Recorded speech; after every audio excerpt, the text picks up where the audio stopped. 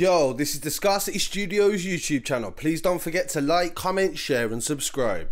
This story occurred in Wood Green, North London. I've got another story on Wood Green today because this place is so active and it's being ignored so much.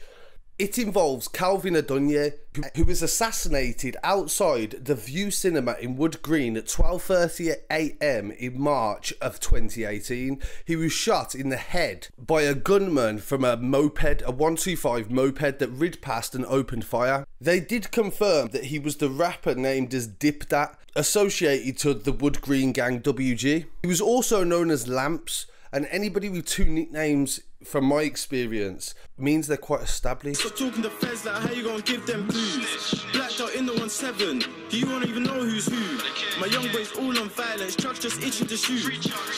Don't be stepping so loose. Hashtag my head no screws to get two nicknames is quite rare. He was actually the first fatal shooting of 2018 in a part of what the police called a postcode war between Wood Green and nearby Tottenham. A police source said the killing was being treated as gang related. It was claimed Calvin was not a gang member but socialised with people who was.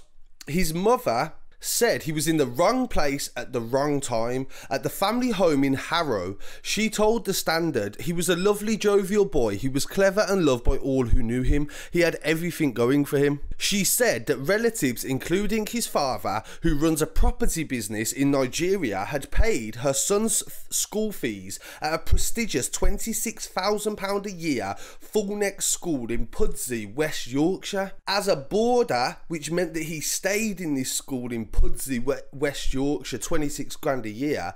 He had ambitions to work in the oil industry. So this for me is mind blowing. It's actually a first too to actually get a drill artist who in actual fact has a lot of family support. In anyone's opinion, he come from a well-off family, 26 grand a year, private school, I, I, struggle to understand why he was even on road. What happened, his mum explained, we sent him away because it was the best school for him. I have always lived in London, but when he moved to Wood Green, we moved there for a short time. I got scared for my family. They then moved shortly afterwards to Harrow, and she told him to never go back to Wood Green. But what had happened is, Calvin had made friends in Wood Green, he'd become associated to the gang in the area, and he kept going back there even though his mum had moved him out of the area. He was with a big group when two boys came along shooting. He was hit. I'm devastated. I knew he would be safe at home with me, but he went there and now he's dead. Another mother is grieving. Enough is enough. The government needs to act to stop the bloodshed. His sister said he wasn't just my brother, he was my best friend. Everybody loved him. He made everyone feel good. I'm heartbroken. Former classmate says he was a popular boy with bags of potential. He was always generous, cool person. The footage, CCTV filmed him outside the cinema moments before,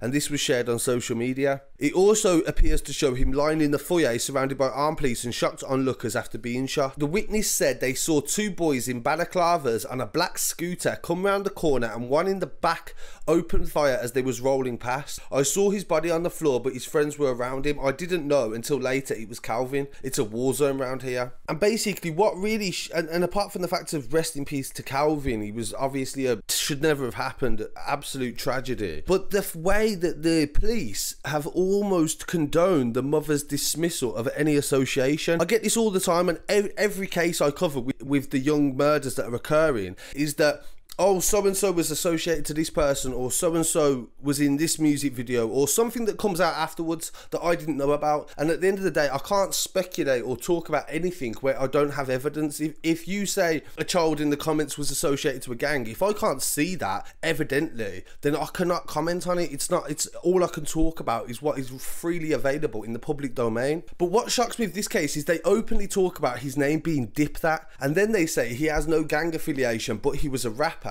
and then they say that he, he didn't even live in, in Wood Green. And in actual fact, big member of WG, and he had a lot of tracks online, and all of his tracks were aimed at his opposition. There was hey, shit in your tracks that you'll never mention.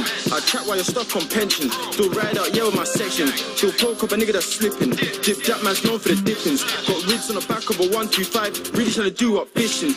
All violently based, all sending direct shots at other people and talking about crimes that he'd committed associated to his rivals. Wood Green have a lot of beef with a lot of different areas. They don't really care about allegiances like that. Their main beef is with the whole, pretty much the whole of North London, Tottenham, which is NPK, Northumberland Park, and also OFB, which is like Broadwater Farm Estate, and they're their main prominent beefs along with Sin Squad. End of the day, Dip Dat as a name, it means to stab somebody. Dip Dat meaning to dip into somebody's human flesh and stab somebody. So his name as a whole is a gangster name. Like then the tracks he's saying are some of the most. It's just confessions. He's talking openly about the crimes he's doing and the and the life that he's living. Quality, none of us lot again. Never back there, but flip that shit with a skeng. The compulsive lies, we mash it, relevant militant men. Any up get splashed, however, whoever, don't care when. Donny got chef and then got left by his friend.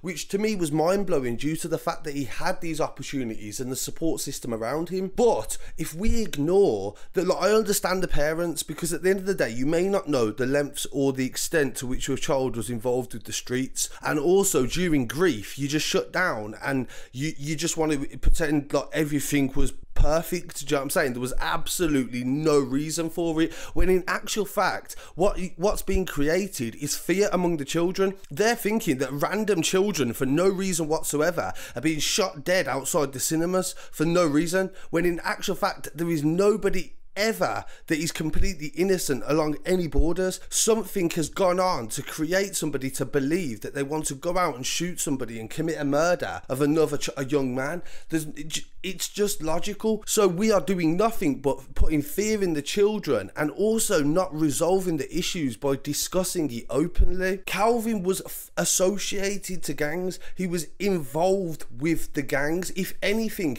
he even did link ups with Nottingham gangs. So he's he was spreading his reach across the country. So he must have been a very active member to have any sort of chance of being able to do all that and be able to do it for as long as he did, which his his tracks spread out over about two years. An Instagram Snapchat post sort of popped up around online, which was associated to North Gang NPK Sin Squad, which actually said the ops need to go and get Netflix because they're not even safe chilling outside the cinemas, which was a direct insinuation to the murder of Dip Dat. There was many arrests inside. Eh, there was there was arrest that was made, but in regard to an actual conviction, I found nothing in regard to a conviction. So another unsolved murder, along with the others that are in the area that I'll be talking about in the near future. So Wood Green is it's just like another Newham, really. It's it's quite insane to the amount to the degree that we are ignoring the issue because we don't like the narrative that it creates. At the end of the day, Calvin did not deserve to die. Calvin shouldn't have died, and Calvin will be sorely missed by everybody. And whatever he said or did probably would never have resulted in in a murder. It shouldn't have occurred. But for us to ignore the fact that he was associated, he was rapping about threatening other people, and he had a lot of bars that was directly talking about that stuff. So to say that there was no reason and the motive is wrong place, wrong time, to me, is frankly offensive. It's offensive to the youngers, and it's offensive to my intelligence because we know better. I'd love to hear what people have to say on this. Please don't forget to like, comment, share, and subscribe. The Scarcity Studios YouTube channel. Three peds in the ads, three peds in the ads. Looking through who you're mad. Try come to my block like one man up and tell you when I got mad. Had man dashing, jump out four door, one two five on the Tuesday crashes. More to my lacking, still got the sins them dashing. Car man's novelist splashing. Things in the backs, you just get.